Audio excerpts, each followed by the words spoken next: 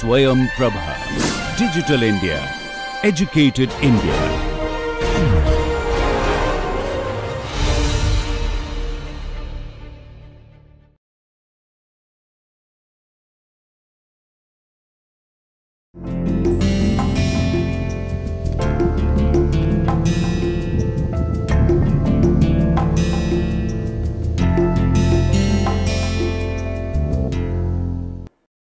Welcome back my dear friends. A very good morning, good afternoon, good evening to all of you wherever you are in this part of this world.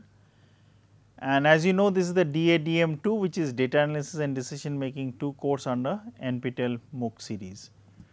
Now this total course duration which I keep repeating before the starting of the actual lecture for any week, this total duration is basically for 12 week and as you can see from the slide we are in the 11th week and the total contact hours is 30 which is gets converted into 60 lectures each lecture being for half an hour. And each week we have 5 lectures each for half an hour as it should be. And we have already completed 10 weeks. We are in the 11th week as mentioned and you have already done 10 assignments uh, for this DADM 2 course. And my good name is Raghunandan Sengupta from the IME department at IIT Kanpur.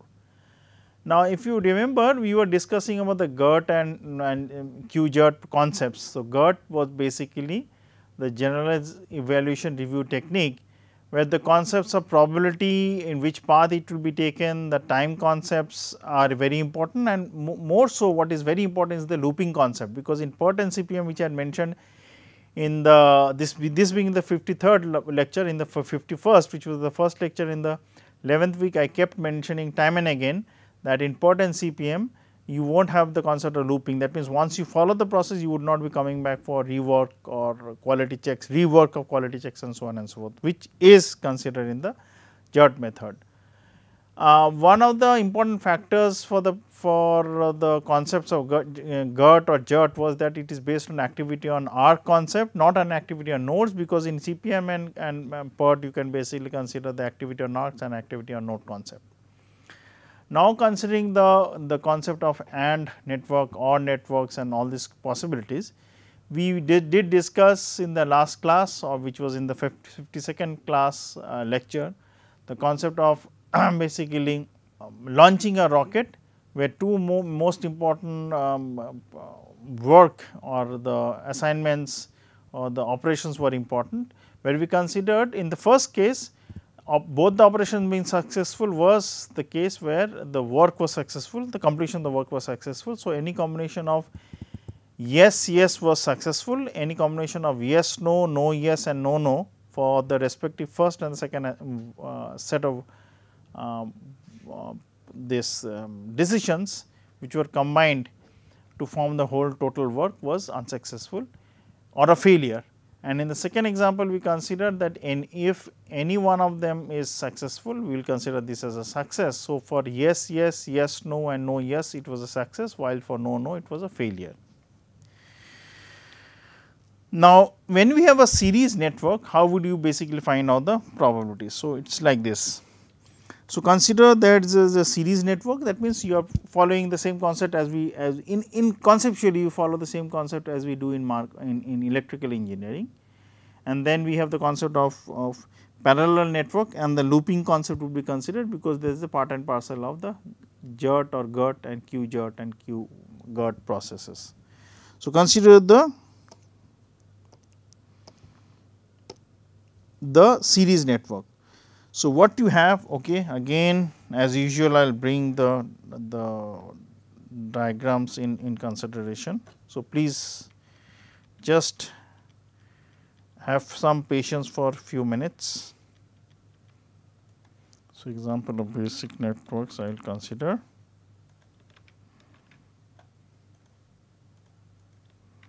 So, this uh, utilization of this pictorial concept would be utilized time and again hence I thought I should basically bring it here also. Okay.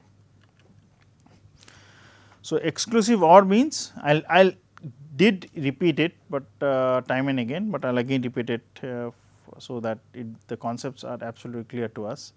So, exclusively OR means the realization of any branch. So, any branch I will basically for any branch leading into the node causes the node to be realized any one of them. So, consider that n of them you can take any one of them.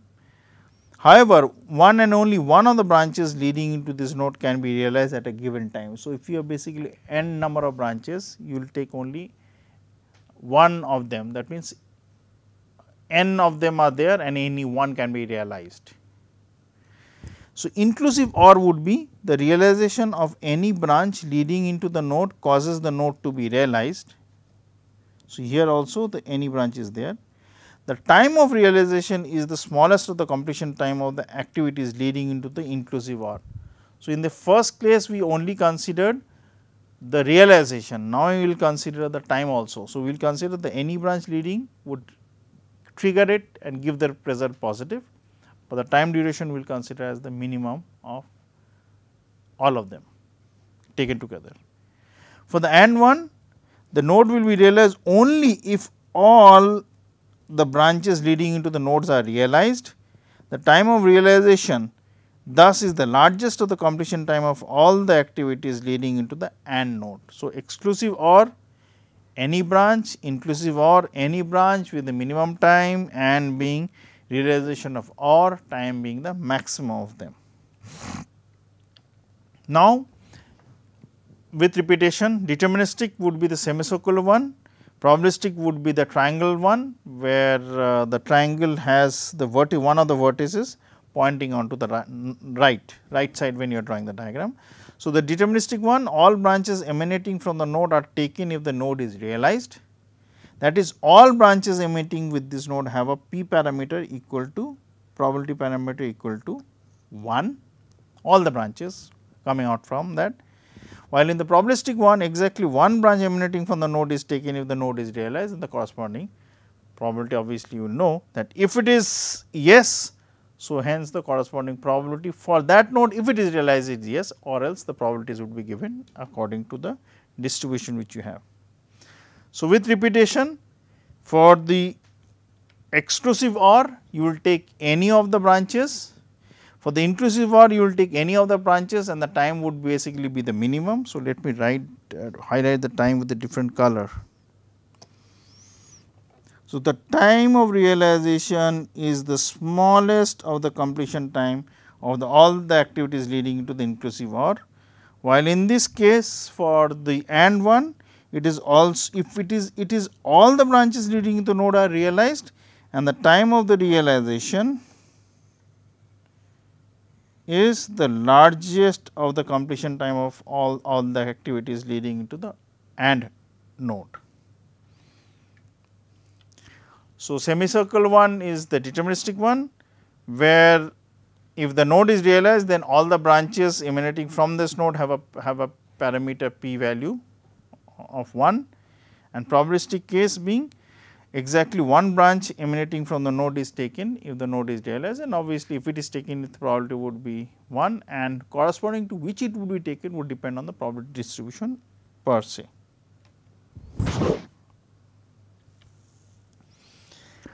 The symbols for the uh, combinations would be you have exclusive the ORs, the ANDs and the deterministic one. So, I will basically formulate 3 into 2 6 combinations. So, the first one will be exclusive OR with deterministic case. So, deterministic case I will mark it as green. Then the exclusive OR with the probabilistic case then you have the inclusive OR with the deterministic case, then you have the inclusive OR with the probabilistic case, then you have the AND network. Let me check a color, light green would do. Let me take the violet one. AND network with the deterministic one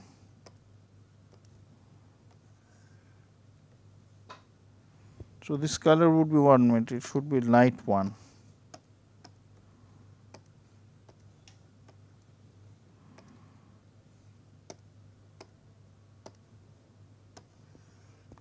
Then the AND one is there for the probabilistic one, probabilistic one would be the orange color. So, the combinations are given accordingly such that based on this exclusive OR or deterministic one, exclusive OR or the probabilistic one, inclusive OR or the deterministic one, inclusive OR or the probabilistic one and then finally, the AND con concept will be combined with the deterministic and the probabilistic one. You remember one thing in this uh, in this uh, exclusive OR you had basically taken any one has to be realized. In the inclusive OR you have to basically take the concept that any one has to be realized along with the minimum time.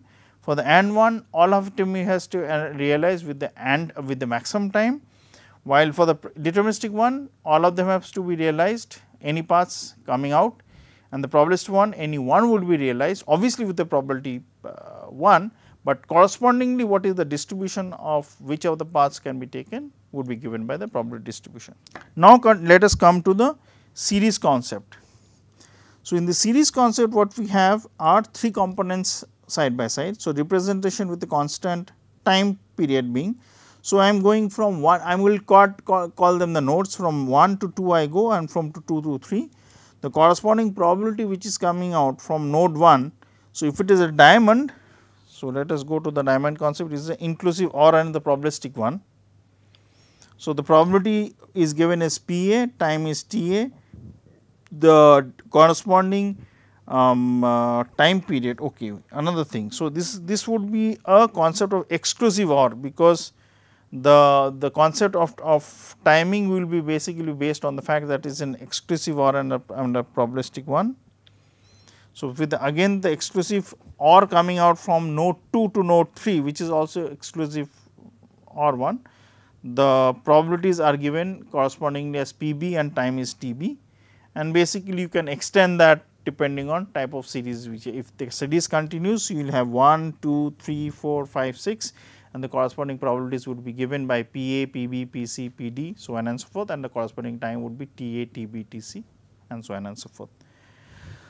Now, if we have two paths from 1 to 2 and 2 to 3, so the equivalent probability would be the multiplication of the probabilities. So, if there are 3 parts it can be calculated accordingly while the equivalent expected time would basically be calculated by sum of them. Now, when you want to basically have the parallel circuit, parallel circuits would be given that I can go from 1 to 2 in two ways one way would be basically the probabilities of PA and TA, another path can be basically PB and TB. Hence, the corresponding equivalent probability would be the sum of the probabilities any one of them, I add, add them up. Obviously, the sum should always be addition would be less than equal to 1 and the corresponding time periods would be multiplied by the time periods multiplied by the probability. So, he will basically have PA into TA plus PB into TB divided by the corresponding total probabilities which is PA into P plus PB. So, if there are 3 paths, so obviously it will be PA into TA plus PB into TB plus PC into TC divided by PA plus PB plus PC. So, it can extend accordingly which I already discussed in the last class. And in the self loop I am considering that there are loops at only one end. So, obviously it can be for 1 or 2, but I will only consider or both of them, but I will consider the loop is only for 1 so, the corresponding uh, the loops is basically I start at 1 and come back at 1 with the probability as PA and time as TB, PB and time as TB and when I am taking the path from, from 1 to 2 I am following the probability of PA and TB and the corresponding uh, probabilities which I can take outside going um, uh, away from this network is basically given by PC and TC. So, if I want to find out the equivalent probability by combining two things one is the self loop in one node and one is the linear motion uh, movement of the or the path from P, P, the first to the second one the corresponding probabilities can be calculated to find out which is P a divided by 1 minus P b. And the time can be found out corresponding to the fact that it will be T a plus the probability based on fact which you are trying to find out for T b which is P a P b by 1 minus P b into T b and it can be extended for more than 2. Since for a series network both branches must be taken to reach node 3. So, node 3 what we have is basically see this for the series one. So, 1 has to be followed, then 2 has to be followed, then only 3 is realized that this is what is saying. Since for a series network both the branches must be taken to reach 3 or else it is not possible. The probability of taking both branches is the product of the individual probabilities that what we have calculated. So, it is P A into B B. So, if I traverse 1 to 2 and then I traverse 2 to 3 obviously the corresponding probability would be P A that is moving from 1 to 2 into P B which is moving from 2 to 3 and the corresponding time would be the time taken to traverse 1 to 2 which is T A and the time taken to traverse from 2 to 3 which is T B you add them up you get the total time. So, as it is mentioned uh, the time is the sum of the individual times for the parallel branches either branch can be take can be a part of the realization not both. So, any one of them has to be taken by definition this is the exclusive OR element. So, let us go. So, either you take the first path which is 1 to 2 following probability of P A and T A and time of T A or else you follow the path of probability P B and T B. So, the corresponding probabilities would be the one uh, which is shown as P A plus P B and the corresponding time I have already shown which is the so called the concept of weighted sums uh, the ratios or the averages for the times where the weights are what you will basically multiply or for the probabilities would be multiplied by the time factors to arrive at the equivalent expected time. So, thus the probability of going from node 1 to 2 is the sum of the probabilities in this case what we have is the sum when I am moving from 1 to 2 either I take path 1 or path 2 if there are more than 2 obviously I can take 1 or 2 or 3 but 1 has to be realized not more than 1. Thus, the probability of going from node 1 to 2 is the sum of the probabilities. The times to traverse from node 1 to node 2 is no longer a constant, but takes on a value T A with the probability P A and T B takes with the probability P B. So, if there is another third path for time T C, it will be multiplied or the corresponding probability would be P C. Thus, the equivalent time to realize node 2 given that you have started at 1 that uh, would definitely be a random variable However, normalizing P and Pb by dividing each by Pa plus Pb would ensure that the complete density function for the equivalent time is accounted for and we have the equivalent expected time as given which will be Pa into Ta plus Pb into Tb divided by Pa plus Pb. It should be clear that a complete description of the time to realize node 2 has not been obtained and the use of expected value to describe the time parameter is an approximation based on which we are trying to find out the calculations. So, now we will consider the reduction of the self loop to an equivalent probability and an equivalent expected time is obtained by summation of the probabilities. So, if I if I continue doing this I will add up the probabilities series of the parallels which we have the probability of going from 1 to 2 with no transition around the self loop is basically given as PA and probability from going from uh, node 2 to, to 3 would be given by probability PP. So, with one transition around the self loop it will be given by PA into BB with n numbers of transitions would be basically PA, PA is traverse 1. So, if there are n numbers of traversing for the probability PB it will be PB multiplied by by Pb n number of times. So, it will be Pa for the first loop and the second loop I am going to traverse n number of times it will be Pb to the power n. Summing basically if you you find out you you find and find out the expected value and the and the equivalent values of probability which is P. Similarly, we can find out the expected value. So, expected value of time would be the corresponding probability multiplied with the time. So, the probabilities are given here so, probabilities are here and the corresponding realized values are given here. So, you multiply the time with the factor of probabilities and you get the total um, time would be T A plus T B where T B would be multiplied by the corresponding probability of P B divided by 1 minus P B. It can be extended to more than 2 also. So, note that the parameters of the C branch for the third case must also be altered by the same factors if the self loop is removed from the network. Again the expected time does not completely describe the network because it is just an approximation depending on the number of combinations which we have. From the analysis of the basic network presented above, it is seen that for two branches in series, the probability associated with the branches are multiplied to obtain the corresponding value. So, if I go back to this, so if I am going in a series sec sector, I will keep multiplying path 1 to 2 into path 2 to 3 and so on and so forth. While if I follow the concept of basically going in the parallel circuit with two loops, any one has to be followed, it will be sum. If two has to be followed, I will sum them up, but correspondingly remember the sum of the probabilities is 1. And if I follow the concept of the self loop, so if there are two self loops, I will basically have to multiply the corresponding probabilities in this way. In the first, there is a self loop which is PB and in the second we are not considering self loop. So, obviously, this would not be considered in the example here.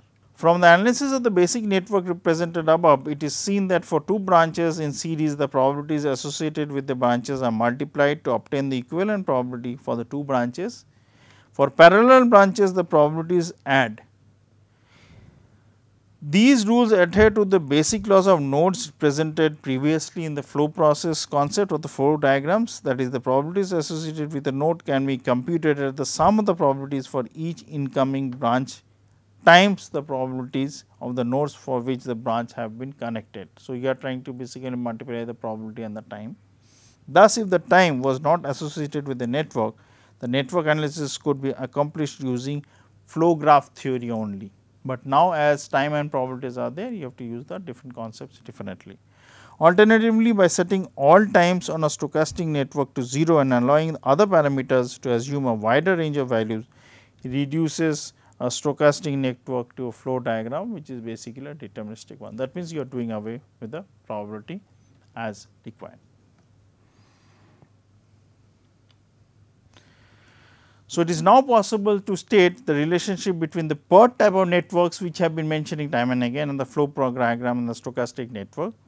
PERT time and networks are stochastic that is they are GERT provided the distribution is known. If you remember we had considered the most probable time, uh, most pessimistic time and the most uh, optimistic time. So, PERT time networks are stochastic networks with, with all and deterministic nodes. Flow, flow graphs are stochastic diagrams with single multiplicative parameters all additive parameters such as time are set to 0. So, whatever they are to be multiplied you will set them as non-zero others additions to be 0. The probabilistic interpretation from the multiplicative parameter is removed so, you would not be considered it accordingly. So, returning to the discussion of the reduction of the basic networks, it is seen that the time parameter is added for two branches in series and it is weighted average for the two branches in parallel. 2 is a just a symbolic representation, it can be 3, 4, 5, 6, so on and so forth. These observations suggest the transformation of p and t into a single function such that we use the so called moment generating, fun uh, generating function concept which is given by p e to the power s t. Then for the two branches if I have and if I want to basically add them up or add, um, uh, multiply them depending on what type of series or parallel connection it is there, I will be utilizing this so called functional form of p e to the power s t repeatedly depending on the way the calculations would be done. So, thus I will basically have the equivalent of 1 and 2 as W 1 s into W s 2 and we will basically have W 1 s W suffix 1 and W suffix 2 would be given by P 1 into e to the power s 1 t and P 2 e to the power s 2 t P 2.